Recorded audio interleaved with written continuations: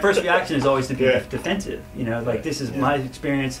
You, Right. I'm, I'm Mm. presenting it in the way that I want you to hear it, but I, you can't control that. You can't control shit like that. So it's like, Well, it's like you you got you have your story that you're telling. It's your lyrics and everything like that. Now, Yeah. I approach that um, is basically you know it's like writing a soundtrack.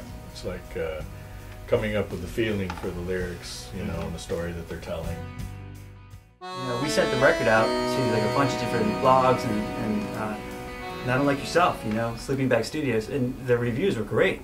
They were stellar. Like I didn't even expect it. I was a little apprehensive, you know, but um, I think there's a big, you know, uh, shift from our last record because you know we've been playing together for a while, uh, longer, and we're sort of like you know gelling much more, you know, and um, I think you can came do that. together yeah. pretty quickly. Yeah. It was amazing. Um, Yeah. you know, normally you have to suffer through some of these things when they, because some Long of them are fairly complex, the changes and stuff. Yeah, they're simple. Well, They okay, then. I, I They're was the supposed one to be simple. struggled. They're But supposed to be simple. It came around. Yeah. Yeah. Takes Yeah. time sometimes to get on the same page, but